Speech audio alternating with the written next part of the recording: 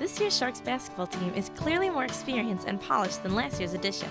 If there is one player on the team who stands out for his offensive skills, it is Cheick Sy-Savane.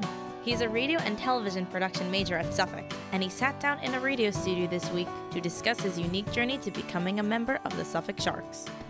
I was born in Ivory Coast, Côte d'Ivoire. It is a French-speaking country. Uh, je parle très bon français, c'est uh, facile pour moi. Uh, I wasn't an athlete. I didn't, I didn't play basketball. I didn't, I didn't play sports. But my dad played professional soccer, and he was known for that. My, like my family was known for playing professional soccer, and um, I wanted to get into something that I thought everyone thought was cool. And I started playing basketball, and I ended up getting really good at it to a point where kids told me like, yo, stop reading your book, come join us on the playground. Like you're good at basketball, come join us. And I'm just like, nah, man, this book is good. So um, basketball became like, um, it kind of like molded me into the, uh, the Harlem, you know, the Harlem scene, you know, and I'm just super thankful for the opportunities it gave me.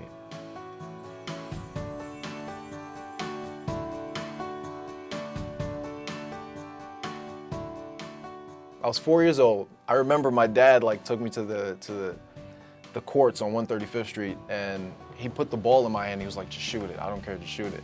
I like threw it up and I missed and I was so I was so mad and my dad was like, nah man, just keep trying, just keep trying, just keep trying. And I kept trying, trying and I made like five in a row and I'm a four-year-old kid. I'm like, whoa, you know, whatever. He, he told me this, so I'm taking his word for it, you know. And it was just it was just so cool to put the ball through the net. And as time grew I just kept doing it and it kept working out. So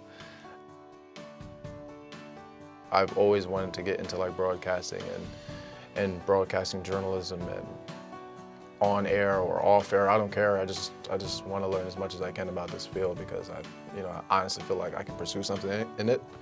So um, it was it was by the time I made the decision, it was kind of late. But you know, I'm just glad Bernstein and you know other people were glad you know glad to help me. So go Bernstein. It's gonna give me a good grade. With another number that you won't see on the stat sheets, 4.0, and that is his GPA. As far as basketball goes, I think I can push it as far as I. The, the sky's the limit, you know. Um, I can definitely play professional. I can I can see that in the future, but um, as far as life goals, uh, whatever I'm into at the time, I just hope it works out. you know? Go Sharks! Take it off, drops mic. Yeah. Did that work?